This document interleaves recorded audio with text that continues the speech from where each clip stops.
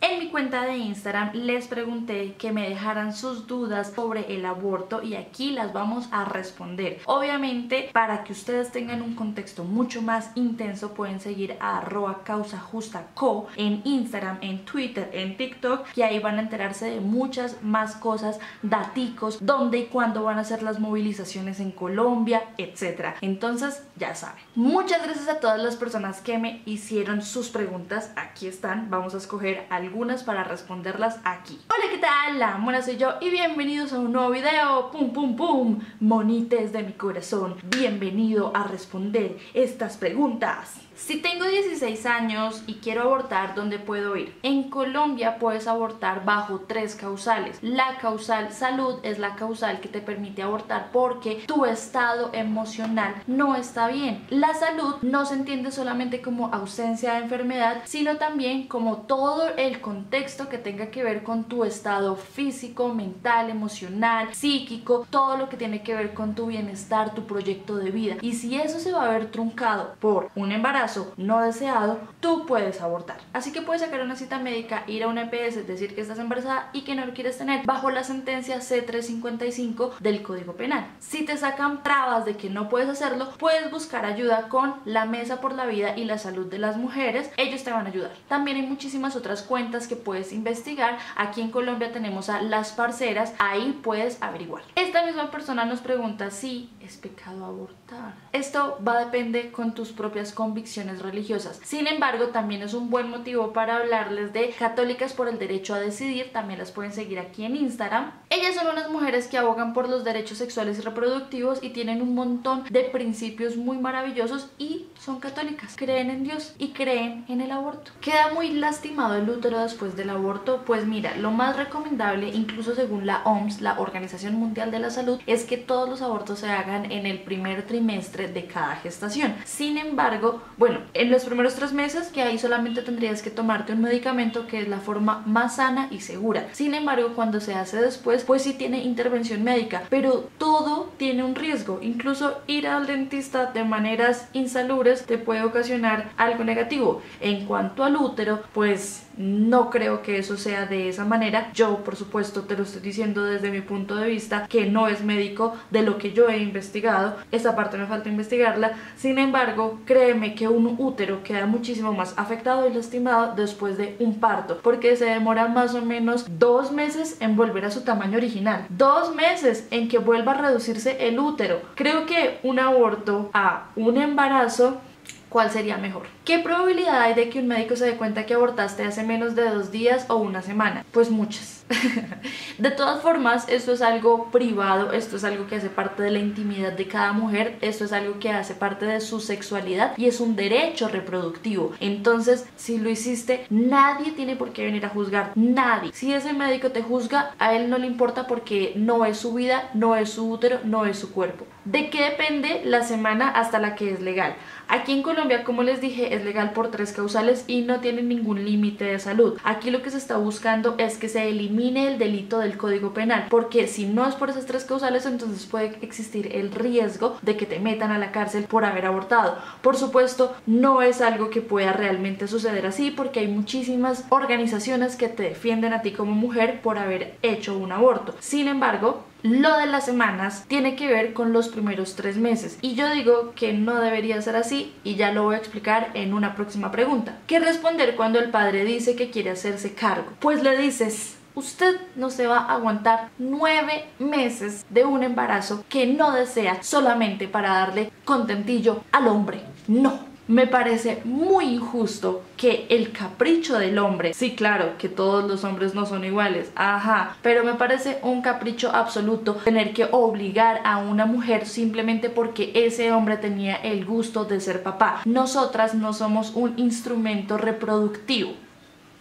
¿Qué significa esto? Que una mujer que no desea un embarazo, y esto también va para las que dicen o los que dicen que debería darle una adopción, una mujer no debería aguantarse todo lo que conlleva las patologías de un embarazo simplemente para que al final otra persona se lo quede. Solamente si es el deseo de la madre que se haga de esa manera. Si no, no es justo, porque un embarazo puede terminar en complicaciones para ti. Es decir, yo no volví a orinar igual. Yo no voy a volver a tener mi vulva ni mi vagina igual. Mi cuerpo jamás va a volver a ser el mismo. Ni mi cadera, ni mi abdomen, ni nada. Ni mis pechos, ni mis pechos. Con un embarazo se te puede caer el cabello, los dientes, puedes tener diabetes y un montón de enfermedades. Y solamente para que al final el hombre se lo quede. Y aparte, ¿tú estás segura que el hombre va a hacer todo lo que hace una mamá? A las mamás les dan cuatro meses de licencia, al hombre les dan solo dos semanas de licencia y estoy hablando aquí en Colombia. Pero después de esas dos semanas, ¿qué? ¿Con quién va a dejar al bebé?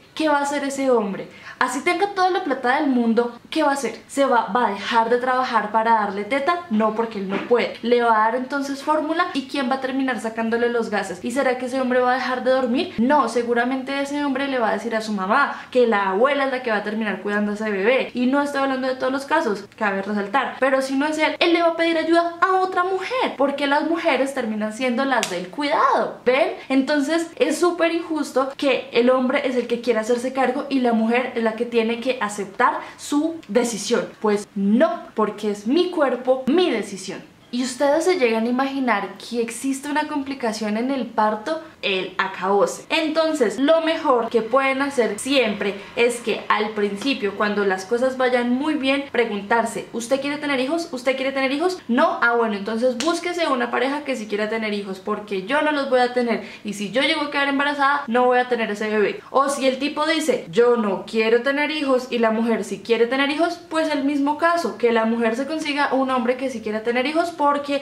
al final, como ha pasado en toda la historia, los hombres se desaparecen. Entonces la mujer quiere que el hombre responda, pero el hombre desde un principio le dijo que no quería tener hijos y la va a dejar engrampada. Pero también pasa que el hombre le dice, no, no abortes, yo te voy a apoyar. Igual se desaparecen. Mm, por eso la maternidad nunca tiene que estar en decisión del otro, sino de uno mismo, de una misma como mujer con su propia cuerpo. Así como lo escucharon, cuerpa. Deja estéril o porque después es bien difícil quedar en embarazo. Yo creo que eso tiene que ver con todos los cuerpos porque todos los cuerpos son diferentes, al igual que con la maternidad. Es decir, no siempre vas a quedar embarazada después de haber dado a luz. Muchas mujeres sí quedan en dieta después, otras no. Otras les cuesta mucho más porque su proceso es distinto, su cuerpo es diferente. Entonces, eso es un mito que te deje estéril. Bueno, ¿crees que es necesario hacer cambiar de parecer a mi mamá sobre ese tema y cómo? Yo creería que para que hay que hacerla cambiar. ¿Por qué? Es decir, los papás ya tienen un pensamiento y hay que dejarlos ser felices. Mientras no te esté afectando a ti como persona, pues que sigan pensando como sigan pensando. ¿Se puede para una persona de 15 años? Sí, porque es que el aborto precisamente debería ser legal en Colombia y en el mundo. Por esa razón, porque las niñas no deberían quedar embarazadas. Y pasa mucho que en Colombia menores de 14 años quedan embarazadas y ¿quién las está protegiendo? En vez de poder esos embarazos terminan siendo embarazos no deseados, partos no deseados y maternidades forzadas, lo cual es injustísimo para una persona menor de edad. Obviamente, aquí tenemos que prevenir los embarazos en adolescentes a toda costa. Sin embargo, una opción también debería ser el aborto para esas personas que no quieren tener bebés y que por supuesto son adolescentes. Y aquí no estamos siendo adultocentristas o hablando de niñofobia. Si un adolescente quiere tener su bebé, pues está también en su derecho. Sin embargo, que ojalá no se convierta en una tortura y que aparte el Estado le brinda las oportunidades para poder tener ese bebé, pero no es así. ¿Cómo afrontar el trauma post-aborto? Aún hay cosas que no he podido asimilar. Yo te recomiendo seguir a mi terapeuta Tatiana Salazar Bio. Ella tiene un video muy hermoso, voy a ver si por aquí lo pongo. Es un video muy hermoso que es un poco disruptivo porque habla un poco más de la sanación espiritual y emocional. Entonces, tal vez algunas personas no están muy de acuerdo con este video, otras sí, yo sí estoy muy de acuerdo con ello. El síndrome del trauma del posaborto realmente no está avalado por ninguna organización médica, no es que exista realmente, pero muchas mujeres sí pueden sentirse mal, pero sobre todo porque hay que despenalizarlo socialmente. Es decir, las demás personas y los comentarios de otras personas son los que más te afectan a ti psicológicamente hablando.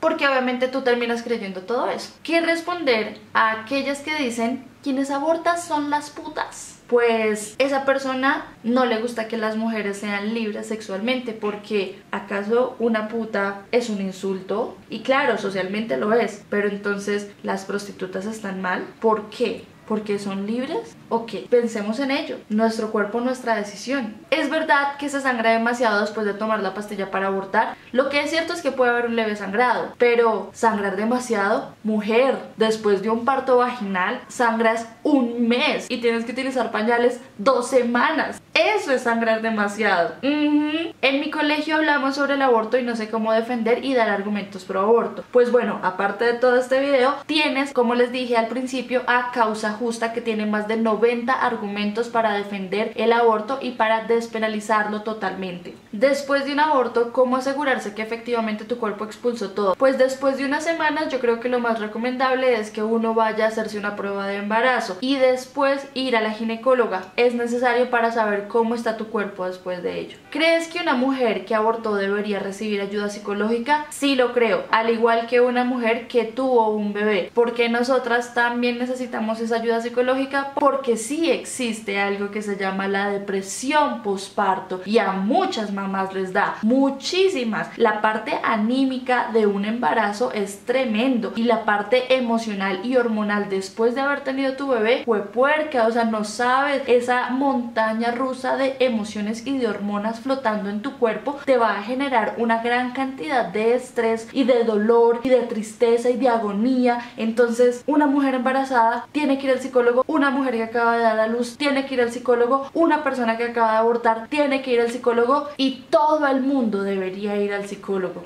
Hmm. Y con eso terminamos el video del día de hoy. No olvides seguirme en todas mis redes sociales como arroba la mona soy yo. Espero que te haya gustado muchísimo este video y nos vemos en mis redes sociales donde dejo más cositas para ver. Besos, abrazos miles, te quiero. Bye.